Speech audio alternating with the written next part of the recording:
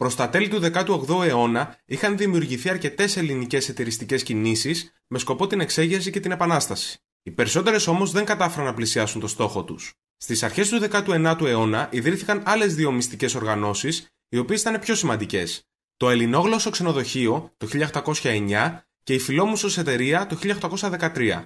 Η σημαντικότερη όμως και αυτή που έπαιξε το μεγαλύτερο ρόλο ήταν η Φιλική Εταιρεία. Η Φιλική Εταιρεία ιδρύθηκε την 1η Οκτωβρίου του 1814 στην Οδυσσό, αλλά συμβολικά ορίστηκε ως ημερομηνία ίδρυσης η 14η Σεπτεμβρίου. Οι ιδρυτές της ήταν ο Νικόλαος Σκουφά, ο Εμμανουήλ Ξάνθος και ο Αθανάσιος Τσακάλοφ. Και οι τρεις είχαν ήδη επαφές με άλλες μυστικές οργανώσεις. Ο Σκουφάς με τους Καρμπονάρους, μέσω του Κωνσταντίνου Ράδου, ο Ξάνθος ήταν μοιημένος σε τεκτονική στο της Λευκάδας, ενώ ο Τσακάλοφ ήταν μέλος του Ελληνόγλωσσου ξενοδοχείου. Η οργάνωση ήταν ξεκάθαρα συνωμοτική και είχε όλα εκείνα τα χαρακτηριστικά που θα περίμενε κανείς. Κρυπτογραφικούς κώδικες, συνθεματικούς χαιρετισμούς, μοιήσεις υπό τη μορφή ιεροτελεστίας, αλλά και βαθμίδες. Πρώτα όμως, να δούμε λίγο τη δράση της εταιρείας. Μέχρι και τα μέσα του 1817, τα μέλη της είχαν φτάσει περίπου μόλις 30. Από το 1818 και μετά όμως, οι μοιήσεις αυξάνονται με εκθετικό βαθμό. Αυτό το φαινόμενο θα εξηγηθεί μόλις δούμε τη διαδικασία της μοίηση.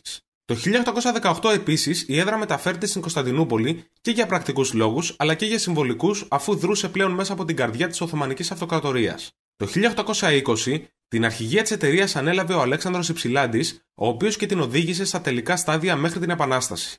Να τονίσουμε ότι για όλα αυτά τα χρόνια σκοπός της εταιρείας ήταν ουσιαστικά οι εξεγέρσεις γενικά των Βαλκανικών λαών κατά των Οθωμανών και συγκεκριμένα οι ταυτόχρονες εξεγέρσεις. Το πλάνο που είχε συγκροτηθεί βασιζόταν πάνω στα πολλά ταυτόχρονα μέτωπα που θα άνοιγαν για τους Οθωμανούς και τα οποία δεν θα μπορούσαν να διαχειριστούν. Αυτή η ιδέα συνάντησε δύο βασικά εμπόδια. Το θάνατο του Καραγιώργη Πέτροβιτς, αρχηγού των Σέρβων Επαναστατών και συμμάχου της Φιλικής Εταιρείας το 1817, και το θάνατο του Δημήτρη Βατικιώτη, μέλος εταιρείας και εκπρόσωπό της στη Βουλγαρία το 1819. Και οι δύο θάνατοι έβλαψαν ανεπανόρθωτα τους διάβλους επικοινωνίας με τις αντίστοιχες περιοχές. Παρότι το σχέδιο αυτό δεν εγκαταλείφθηκε ποτέ, τελικά δεν πραγματοποιήθηκε, καθώς η φιλική εταιρεία είχε παράλληλα στραφεί προς την Πελοπόννησο για κέντρο της Επανάστασης, κάτι που επικυρώθηκε τον Οκτώβριο του 1820 σε συνέλευση της εταιρείας στο Ισμαήλιο της Ουκρανίας.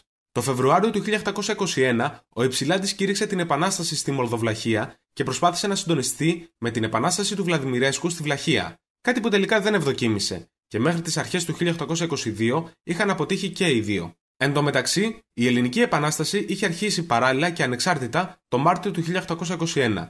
Λόγω όμως της αποτυχίας στη Μολδοβλαχία, η φιλική εταιρεία δυσφημήθηκε και το έργο της απαξιώθηκε. Η αλήθεια είναι ότι αυτό έγινε στα πλαίσια της αντιπαράθεσης Πελοποννήσεων και Ιδραίων που έφτασε μέχρι τον εμφύλιο του 1824. Πάντως, κάπως έτσι ολοκληρώθηκε η δράση της, έχοντας τυπικά και ουσιαστικά πετύχει τον ιδρυτικό της σκοπό.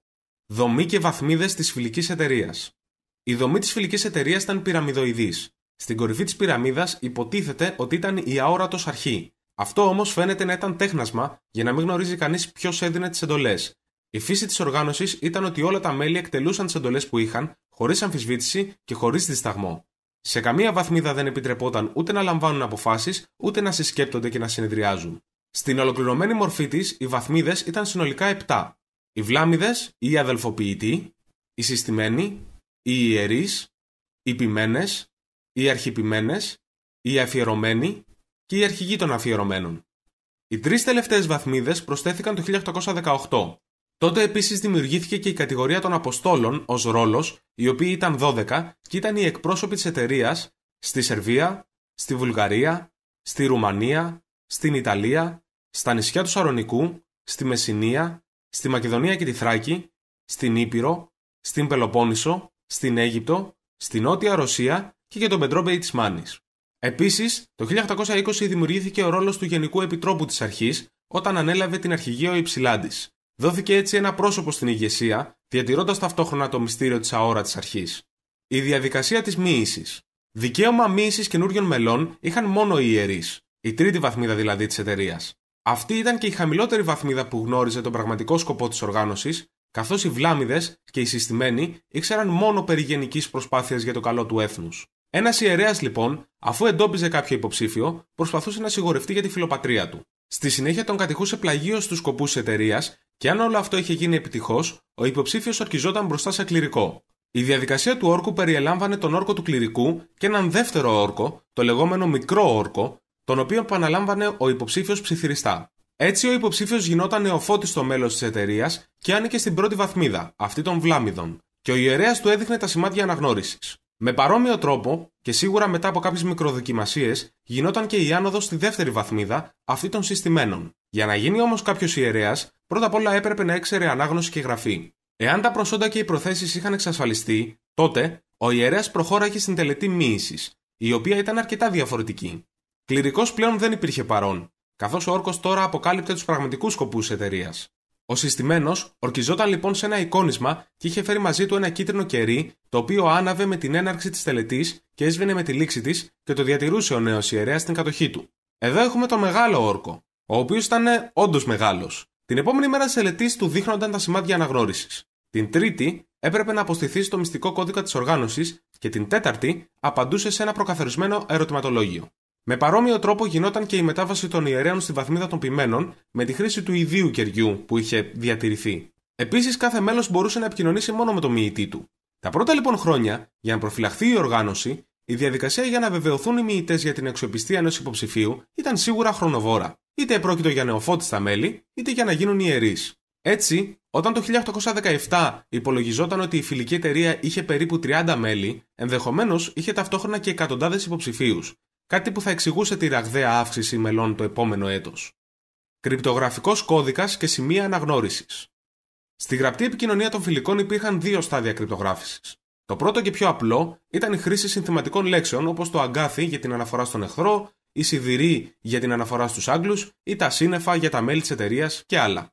Αυτό που βλέπετε είναι το κρυπτογραφικό αλφάβητο της εταιρείας και είναι το δεύτερο στάδιο κρυπτογράφησης των μηνυμάτων.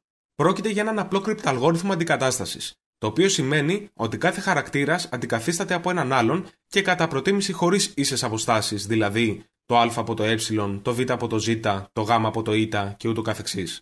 Τέτοια περίπτωση έχουμε και εδώ. Για να αποκρυπτογραφηθεί ένα μήνυμα που έχει παραχθεί από αυτόν τον κρυπταλγόριθμο, είτε θα πρέπει να χρησιμοποιηθεί προφανώς το αλφάβητο, είτε να δοκιμαστούν διάφορες μαντεψιές με βάση τους επαναλαμβανόμενους χαρακτήρες. Στο συγκεκριμένο αλγόριθμο όμως, αυτό γίνεται απείρως πιο δύσκολο λόγω της μικρής τροποποίησης που είχαν κάνει οι φιλικοί. Βλέπουμε ότι στο κρυπτογραφικό αλφάβητο το 9, το 4 και το α χρησιμοποιούνται δύο φορές, με τρόπο που δεν μπερδεύει το μέλος εταιρείας, καθώς το 9 είναι το π, το α είναι το σ και το 9α είναι το ψ. Αντιστοίχως, το 4α είναι το ξ.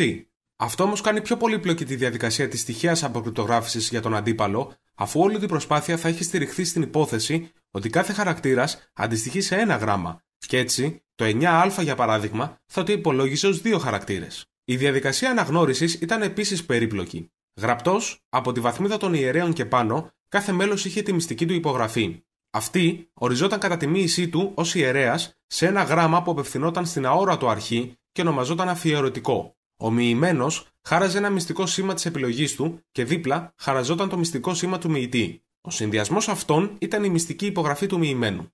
Σε κάθε ιερέα, κατά τη μοίησή του, παραδεινόταν επίσης ένα γράμμα το οποίο ονομαζόταν γράμμα υπεροχής. Αντίστοιχα, σε κάθε συστημένο ένα συστατικό γράμμα.